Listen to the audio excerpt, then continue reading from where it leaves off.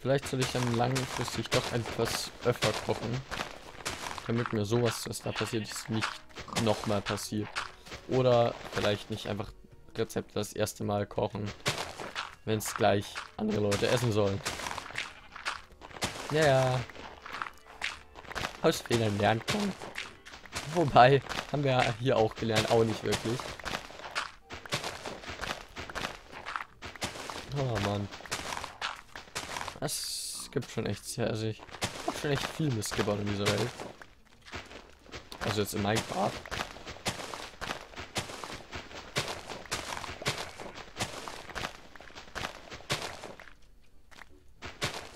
So. Und jetzt ist es endlich soweit. Das Belt. Das Belt ist ein Ferg. Genau. Ich kann nicht mehr reden. Äh, der Berg ist in das Feld äh, integriert. Beziehungsweise das Feld in den Berg. Beziehungsweise ihr wisst eh, was ich meine. Und das sieht sehr komisch aus, dieses Loch hier. Ich glaube, fast da oben müsste man einen Aussichtsturm hinbauen.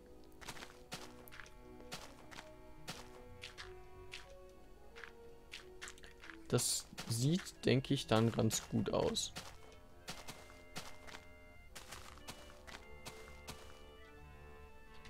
Ähm, jetzt muss ich hier allerdings mal was anderes machen. Also hier sind die ja dann ein höher. Da ist hier der Wassergraben. Dann kommen hier die die Zaunschicht hin.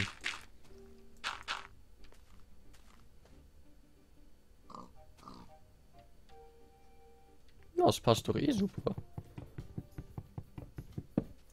Kann ich jetzt genau hier die Zaunschicht ziehen? Nun mache ich das doch mal.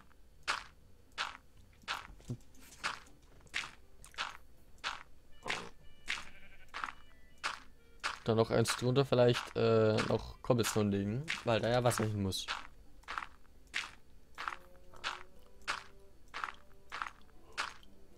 Ja, das Wichtigste ist jetzt erstmal hier alles einzäunen, damit ähm, keine Mobs mehr spawnen. Der Rest ist dann erstmal relativ egal. Eigentlich. Also nicht wirklich egal, aber nicht mehr so relevant für die Funktion des Feldes, sag ich mal. Dass das auch ein Feld bleibt, weil solange da alle Nasen lang ein Viechern drauf rumspazieren, wird das Feld kein Feld bleiben, sondern irgendwas anderes, weil die ganze Zeit Viecher drauf rumstolzieren und äh, die Felder kaputt trampeln. Und das will ich jetzt eigentlich auch eher weniger und deswegen müssen da überall Zäune drumherum.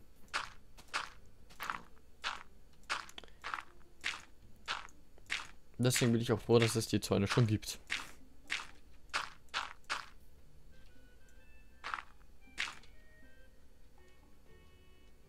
Faszinierend, man sieht genau, welche Chunks ich überhaupt geladen habe da hinten, als ich da am Berg gewerkelt habe. Weil hier vorne ist absolut nichts grün. Auf dem Feld.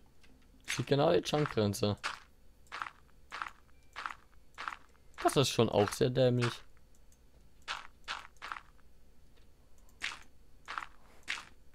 Das ist schon... Das ist jetzt wirklich genial. Das ist ein sehr interessantes Bild. Und da unten ist es... Hey, was? Da unten ist halt schlagartig auch zugewuchert, ne?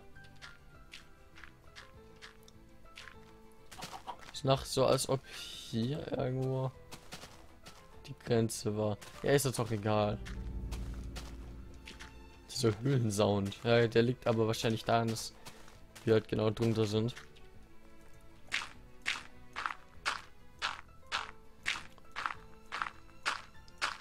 Das andere Problem, was ich jetzt aktuell noch habe, äh, ich muss hier ähm, einen Zaun hinlegen.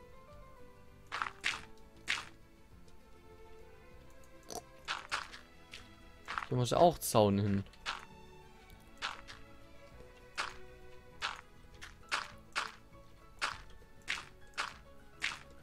Zumindest bis ich äh, auf Bodenebene bin. Danach weiß ich noch nicht, was ich mache. Ähm, weil die Bodenebene das Problem hat, dass da eine Wand hinkommt oder irgendwas. Weil ich da kein so Loch graben kann wie... Gut, das da hinten sieht man jetzt gar nicht. Bringt also sehr viel davon zu reden, wie es auf der anderen Seite des Feldes aussieht. Wenn es nicht sichtbar ist. Das ergibt auf jeden Fall sehr viel Sinn. Ähm, gut. Wieso ist hier ein Cobblestone? Ich weiß es nicht. So. Ähm. Jetzt müsste man natürlich noch rausfinden, auf welcher Höhe man eigentlich hin muss. Also, äh, Okay, dann hier. Drei höher.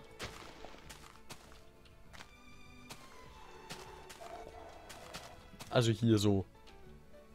Da muss die Zaungrenze hin. Gut, ich muss eigentlich eh auf die andere Seite, weil ich die Zäune noch holen muss. Kann ich eh, kann ich jetzt eh gleich super machen. Dann kann ich gleich wieder vor, um die Zäune zu platzieren. Auf der anderen Seite brauche ich ja eigentlich den Zaun sowieso nicht wirklich machen, weil da ist ja eh äh, nicht erhöht, sag ich mal. Ähm. Puh. Ich weiß nicht, ob ich hinten so ein kleines Wegal mache, wenn dann wahrscheinlich eins aus Kies. So ein kleines, so ein kleines verlaufendes Kieswegchen. So zwei Blöcke vielleicht mit ein paar äh, verwachsenen Rändern äh, hier hinterlegen, dass wir dann von dem Weg dann quasi hier runter können. Also jetzt nicht so runter, äh, sondern hier hinter meinte ich. Da in dieses Tal. Ich weiß noch nicht, was wir da hinten noch irgendwann bauen.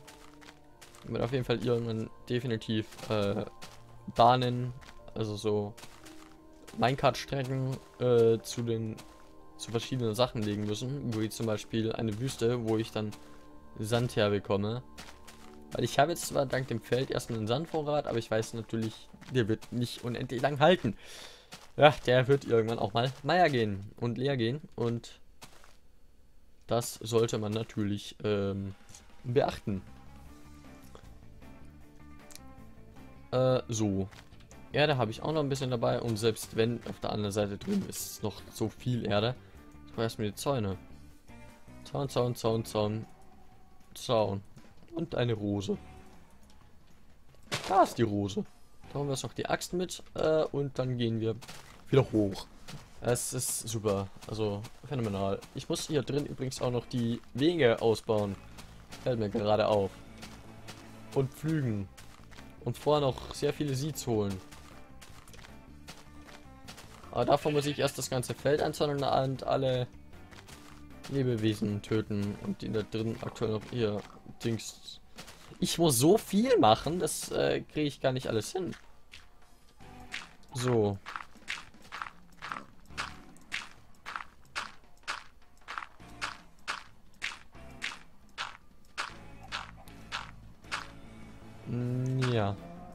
Ja, hier, also hier muss ich dann erstmal hoffen, dass alles grün wird. Ja, wird früher oder später eh dann. Hier muss dann halt alles grün werden. Dann machen wir hier so einen Weg hin, der halt aber auch nicht ganz gerade läuft, sondern halt ein bisschen schlangenlinienförmig. Damit alles ein bisschen natürlicher aussieht und nicht alles so extrem schnurgerade. Und damit ich dann halt mit einem kurvigen Weg kann ich viel schöner eine noch eine kleine Hügelkante anlegen, die diese beiden Berge dann miteinander verbindet. Beziehungsweise hier vorne wird es eh relativ flach, damit ich dann auf dieses Bergniveau komme und dann hier irgendwie so schauen, ob ich in der Natur irgendwelche Grenzen finde, mit denen ich hier einigermaßen schön was machen kann. Oder was natürlich auch geht, ich lege hier ein riesiges künstliches Hochplateau an. Und schaffe damit hier unten einen Nationalpark für diese Bäume kann man dann sehen, welche Blatttypen im Verlauf dieses Let's Plays noch hinzukommen. Das ist bestimmt dann auch interessant zu sehen. Ähm. Ah, nun ja, nun erstmal zu dem, was wir hier gerade machen, nämlich Erde setzen. Bestes Beschäftigung ever.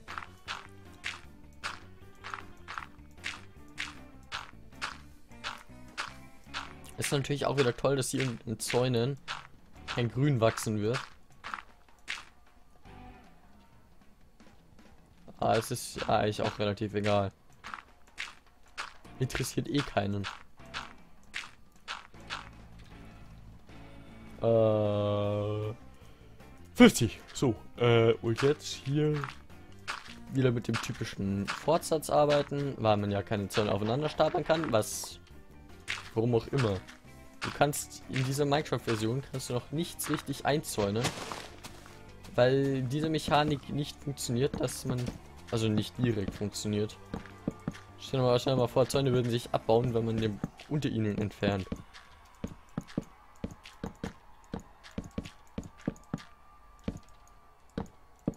Wie dumm wäre das denn?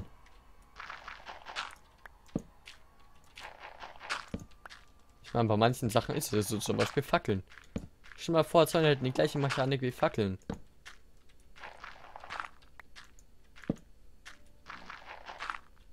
Das ist ja furchtbar. Da könnte, da könnte das, was ich gerade hier machen, könnte man nicht. Geht nicht.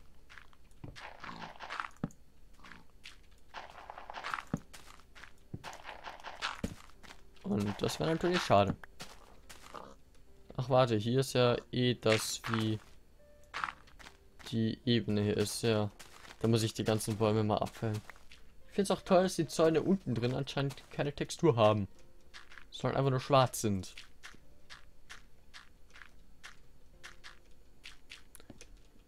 Wurde sehr sauber gearbeitet.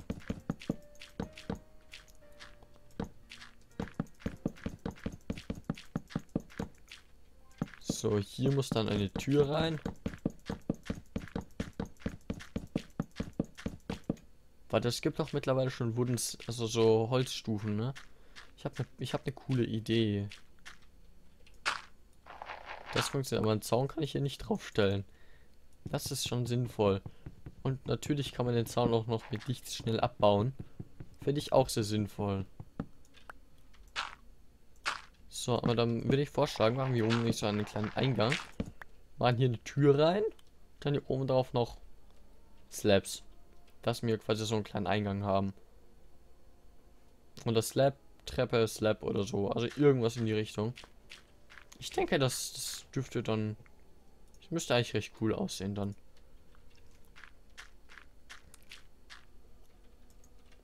Was passiert, wenn ich jetzt hier einen Zaun Nein, also man kann einfach nur keine Zäune auf Zäune setzen. Offiziell zumindest nicht. Inoffiziell geht das irgendwie sehr gut. Kann man Zäune in die Luft setzen? Nein. Dann heißt das quasi, man kann Zäune nicht in die Luft setzen und ein Zaun zählt dann irgendwie teilweise als Luft. Ich interpretiere das jetzt einfach mal so. Ist das wahrscheinlich von einem eigentlichen äh, Grund, warum das nicht geht, meilenweit entfernt, aber das ist mir jetzt persönlich erstmal sehr egal. Na gut. Sonne haben wir jedenfalls im Moment noch genug dafür.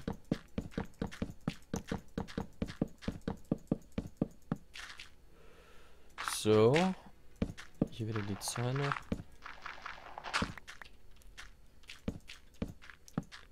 Da muss ich mir auch noch was überlegen, wie ich das hier oben mache. Also entweder hier einfach... Ich glaube Tiere, also diese Schweine und Kühe, das was man hier jetzt alles sieht, das spawnt, äh, glaube ich, nur auf Gras.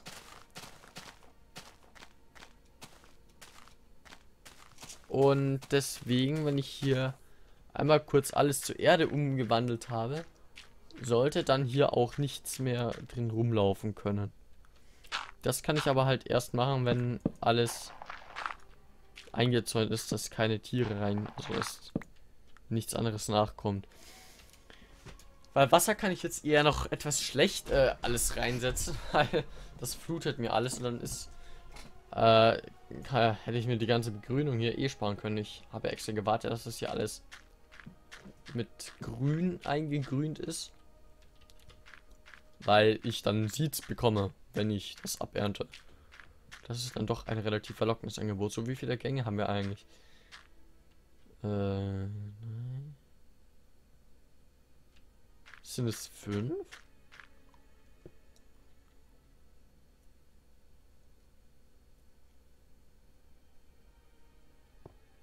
Ja, es sind fünf. Gut, das heißt, ich brauche zehn Türen und 30 Slabs. Das kriege ich hin. Dann nehmen wir uns mal hier oben die Birken. Brauche ich eh nicht. Ich finde nämlich, dass dieses Holz mit äh, eins zum so bauen äh, nicht sehr toll aussieht. Höchstens vielleicht so als äh, Tapete, aber sonst finde ich es relativ furchtbar. Ehrlich gesagt. Ähm ja.